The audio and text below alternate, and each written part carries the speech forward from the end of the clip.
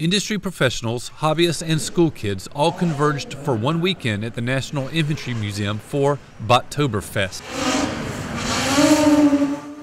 This unique gathering generated excitement in the growing field of robotics and welcomed both enthusiasts as well as entrepreneurs to Columbus.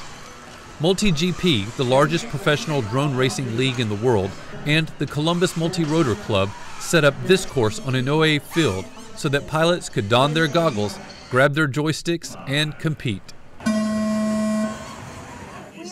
Inside, teams of 6th through ninth graders from area schools spent the day building their own robots, programming them, and then pitting them against one another. But it really is exciting to, to see our, our kids engaged in that activity. Having fun, it, it, it's okay to have fun, to be curious, to learn, and, and advance technology. He's out! Coinciding with BotoberFest, Fort Benning's Capabilities Development and Integration Directorate hosted an industry day where vendors could demonstrate the projects they've been developing. It is a critical opportunity for communication between private industry and the Army.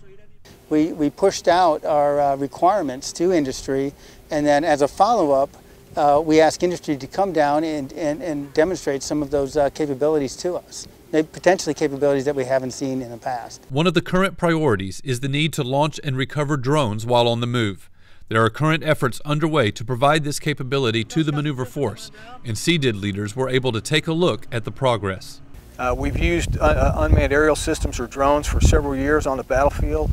Anytime you have to stop to launch or recover a system, you become a target. So the ability to launch and recover a drone on the move is critical to our future development. Successful capture. This Industry Day and BotoberFest are both loud signals that the Fort Benning Columbus area is quickly growing into a recognized center for robotics. David Wright, Fort Benning, Georgia.